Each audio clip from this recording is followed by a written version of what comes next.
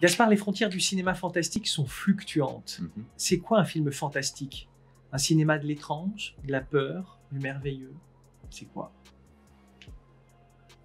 Bah, Je dirais que ça englobe un peu tout ça, et c'est pas tant en fait d'essayer de définir réellement euh, dans quel sous-genre ça s'inscrit. Euh, je dirais que pour moi, le fantastique, c'est surtout un cinéma qui vient questionner le réel et qui euh, défie un peu les, les lois de, du réalisme ou de la science, ou enfin du, du plausible en tout cas, et qui du coup ouvre tout un champ d'interprétation, de lecture, ça ouvre des portes en tout cas.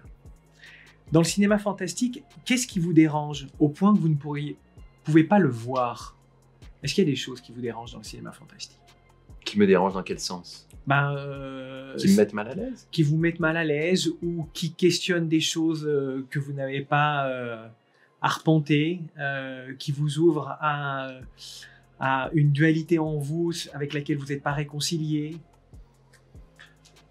Je pense, mais comme souvent euh, au cinéma, en fait, il y a un rapport très psychanalytique, je pense, euh, pour le spectateur, et, et souvent dans, dans le fantastique, en fait, ça, ça permet ce genre de rapport-là. Donc, oui, je pense que quand un film fantastique est réussi, ça peut nous nous toucher, voire nous nous triturer, nous blesser, nous atteindre en profondeur et et créer euh, un trouble qui peut être d'ailleurs assez persistant.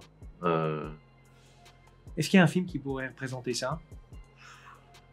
Ah, Il y en a plein. Après, quand j'étais plus jeune, tous les films qui, qui mettaient en scène euh, le, le diable ou les croyances euh, un peu maléfiques, sataniques, tout ça. En fait, quand le mal n'est pas incarné vraiment comme un objet ou comme un personnage, c'est là où, où je trouve que c'est souvent le plus terrifiant. En fait, quand, quand il est justement invisible. Vous pensez à l'exorciste, par exemple? Ah bah oui, l'exorciste. Euh, et ça, je l'ai revu il y a pas très longtemps, ça, ça fait toujours aussi peur, ça n'a pas vieilli. Et bon, après, c'est devenu un peu un film matriciel, notamment. C'est marrant parce que là, dans le jury, on a, on a commencé à regarder quelques films de, de la sélection et ils reprennent tous, enfin tous, de nombreux films reprennent cette euh, figure du pont inversé, là, Mhm. qu'il y a euh, dans cette scène en haut de l'escalier, dans l'exorciste. Ou alors cette tête qui tourne à 360 degrés qu'on a pu revoir aussi dans, plusieurs films d'horreur récemment.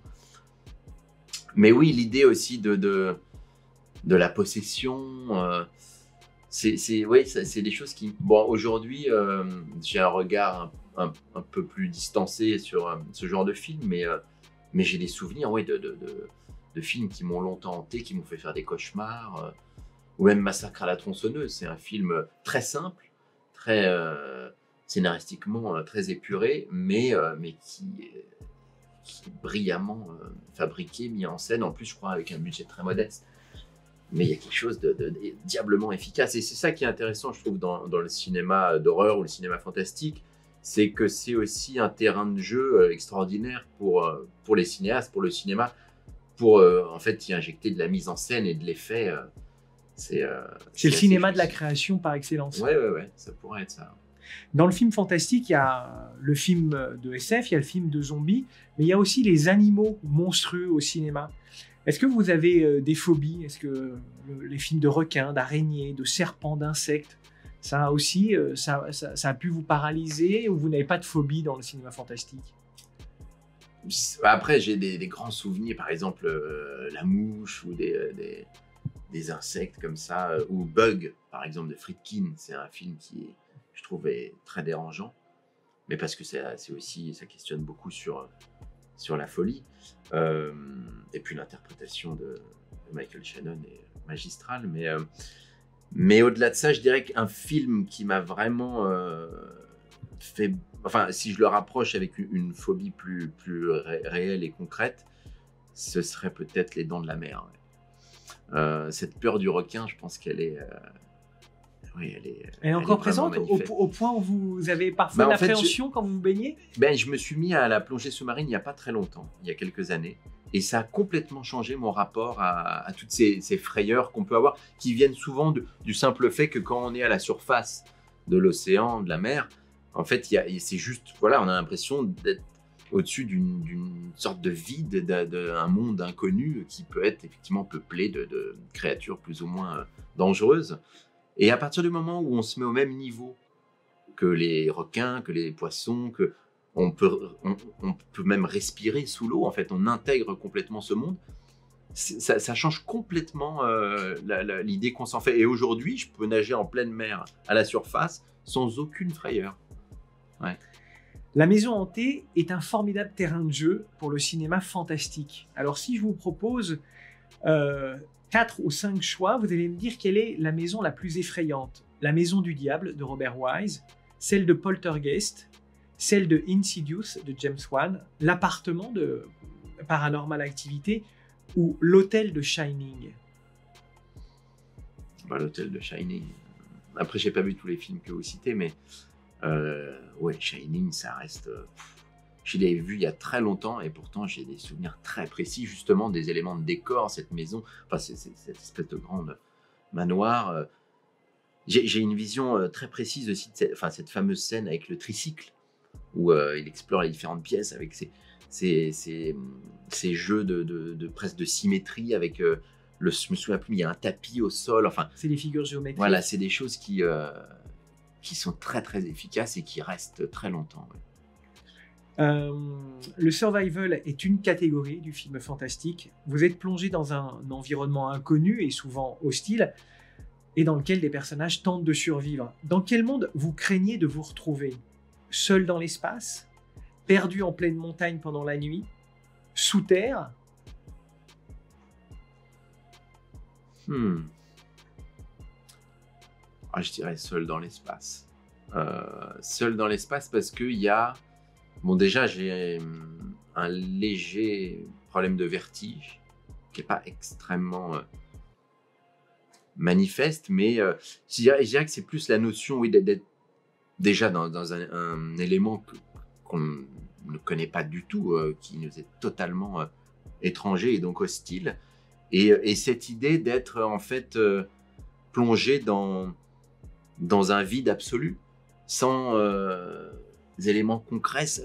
Voilà, il n'y a, aucun élément auquel on peut se raccrocher. Alors que. Solaris, par exemple, c'est un film. Euh, euh, je dirais plus. Euh, comment il s'appelait ce film? C'était un film de Quaron? Gravity. Gravity. Gravity, bizarrement, c'est un film que, je trouve assez angoissant. Parce qu'il y a aussi cet effet au filmage où d'un coup, on a une perte de ouais, d'équilibre. Il y a une sorte de, vertige euh, qui nous envahit. Et, et ça, ouais, c'est quelque chose que j'ai du mal à, affronter, à supporter. Dernière question. Un film d'horreur qui vous rend malade ou qui vous émerveille? Un film d'horreur ou un film fantastique? Euh, Qui me rend malade euh, Ou mal à l'aise? Bah, Il y a un film j'ai un souvenir qui, est très très euh, pervers, c'est pas le mot, mais oui, il y, a un malaise euh, euh, qui s'installe au fur et à mesure et qui à la fin devient quasi insoutenable. C'est un film de Takashi Miike qui s'appelle Audition. Et, je vous invite à le découvrir parce que ça, c'est. en fait, ça, ça joue sur assez peu d'effets en fait, bizarrement, le malaise, enfin non, euh, justement, le malaise naît plus de ce que se racontent les personnages, de ce que on voit réellement à l'écran. Et qu'est-ce que ça remue en vous, ce film? Bah, il y a vraiment euh, une vraie forme de, perversion et de sadisme euh, poussée à l'extrême, qui est qui peut être latent chez vous et que vous dissimulez. C'est comme une... tout le monde, je pense. Mais c'est comme une bête que vous, vous tentez d'apprivoiser et, que vous mettez sous clé.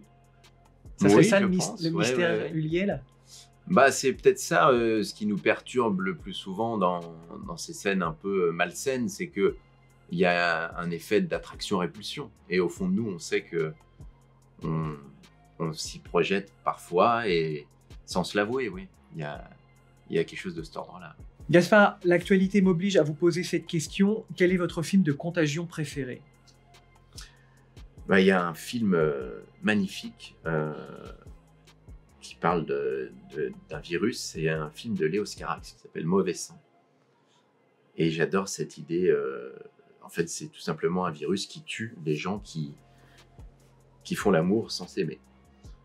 Bon, alors après, le film, je pense qu'à l'époque aussi, il, parlait beaucoup du sida, c'est un film des années 80. Mais, euh, mais ouais, je trouve que c'est un film qui, euh, mais comme souvent chez Carax, hein, qui, qui, qui mêle euh, différents genres, différentes influences, et, et on arrive à un objet qui, qui, est presque comme une sorte de, de- poème visuel. On finit avec le sourire. Un film d'horreur qui vous donne la joie de vivre. Est-ce que ça existe? Bah, je, enfin, je détourne sans détourner la, question. Je réponds pas vraiment à côté. J'allais dire Rubber de, Quentin Dupieux, euh, qui est un film qui forcément euh, donne le sourire, qui est bien décalé, comme c'est le, si bien le faire euh, Dupieux. Mais pourtant, ça reprend vraiment les, codes de- du film d'horreur. Et puis pour le coup, là, c'est en plus ce qui est assez fou, le tour de force du film, c'est qu'on finit par s'attacher à un pneu quand même qui essaye de tuer par amour. C'est assez brillant.